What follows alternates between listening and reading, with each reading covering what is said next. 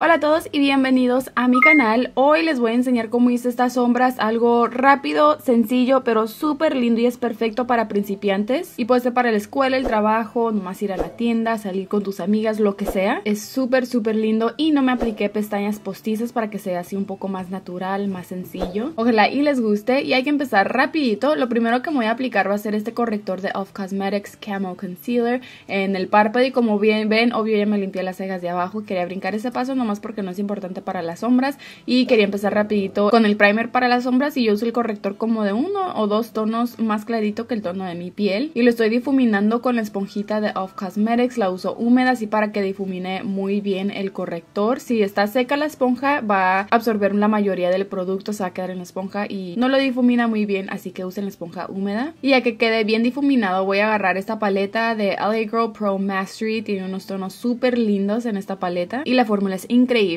bueno, voy a agarrar esta sombra de aquí con la brochita de Elf Cosmetics y lo voy a aplicar primero en toquecitos en, la cuenca y va a ser así rapidito porque como no es un tono muy oscuro va a ser fácil y rápido de, difuminar. Y van a ver qué tan rápido es de hacer este paso. Y para difuminar la orilla voy a usar la misma brochita, estiro el párpado levantando la ceja poquito y así en la orilla pueden ver exactamente dónde lo tengo que difuminar más. Y de esta manera sí se difumina más rápido y fácil la sombra. Y siempre me aseguro de no tener demasiado del producto en la brocha cuando lo estoy difuminando. Y esto fue nomás con una capa y pueden ver que sí tiene bastante pigmentación y vieron que lo apliqué en la cuenca y ahorita ya está más arriba de la cuenca pero se ve bien difuminado. Así siempre lo quieren hacer de aplicarlo más abajo y luego lo empiezan a difuminar y la sombra se mueve más arriba.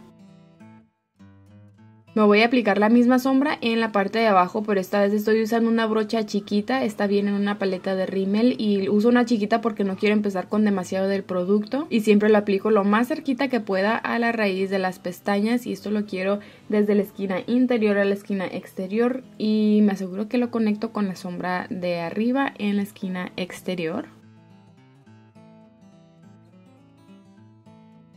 Ahora con mi dedo voy a agarrar esta sombra rosita y esto lo voy a aplicar en el párpado así en toquecitos y pueden ver que también tiene mucha pigmentación. Y como no me seguí el corrector al principio el párpado todavía estaba medio cremosito y por eso sí se va a agarrar muy bien la sombra en el párpado y va a resaltar la pigmentación y el brillo y se va a ver súper lindo.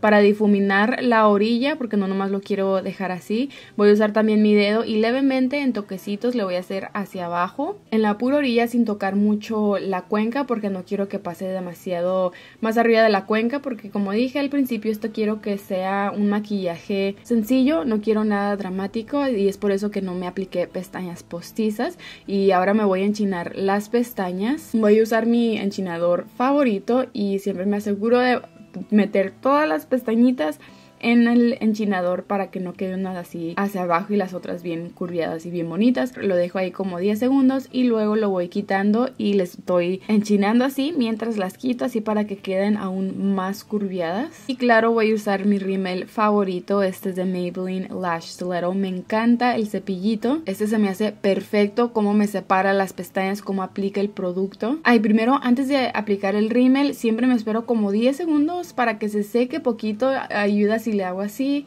para hacerlo más rápido y luego aplico el rímel y eso ayuda porque no me gusta cuando el rímel, el producto esté bien mojadito, no me gusta. Lo aplico así como que como que pura agüita así en las pestañas y no, no sé, yo noto mucho la diferencia cuando me espero unos segundos. Claro que no se seque completamente, pero que no esté tan mojada la brochita y así aplica muy bien el producto y siempre cierro el ojo poquito mientras cepillo las pestañas así para empujar las pestañas hacia el cepillito y luego le, muevo así como que de un lado al otro mientras volteo el cepillito y eso ayuda demasiado. Bueno, a mí me ayuda para que todas las pestañas tengan el producto y se queden así bien curviadas y la cepille muy bien. Y sí me voy a aplicar dos capas, pero antes de que me aplique la segunda capa me espero hasta que la primera capa esté completamente seco y luego cuando me aplico la segunda capa aplico poquito del producto en la punta de las pestañas, pero no le, no le pongo mucha presión porque no quiero que aplique demasiado del producto. Es algo que me gusta hacer. Este paso ayuda para que tus pestañas se vean más largas, es aplicándole poquito más en las puntitas y así se ven más largas y aquí nomás les acerque poquito más para que las puedan ver mm, mejor. Y también voy a poner rímel en las pestañas de abajo y aquí nomás me voy a aplicar una capa y con este paso ya completé este maquillaje y son pasos algo bien rápido y súper fácil de hacer pero se ve bien bonito. El maquillaje completo bien natural y les voy a enseñar rapidito los labiales que me encantan con este maquillaje. El primero es este de aquí. Este es un labial de Colourpop se me olvidó el nombre pero en la caja de descripción este les voy a poner la información de los labiales. Nomás les voy a enseñar dos para, para, este maquillaje y este es uno que me encantó, es uno cafecito bien bonito, nomás que el peinado como que no me gustó, pero el maquillaje sí. Y el segundo labial es uno más oscuro y con este el maquillaje se ve completamente diferente, se ve como que más dramático, pero es nomás los labios que llaman mucho la atención. Y eso se ve más como para salir de noche, pero no, no quieres nada dramático exagerado en los ojos, pero con este labial, uff, se ve súper lindo. Bueno, por favor, díganme en los comentarios qué piensan de este maquillaje. Ojalá les haya gustado y ojalá les ayudó este tutorial. Antes de irse, por favor, déjenme un like si, si les gustó este maquillaje y compartan este video con sus amigos y familiares. Muchísimas gracias por todo su apoyo. Los quiero con todo mi corazón y los veo en el próximo video.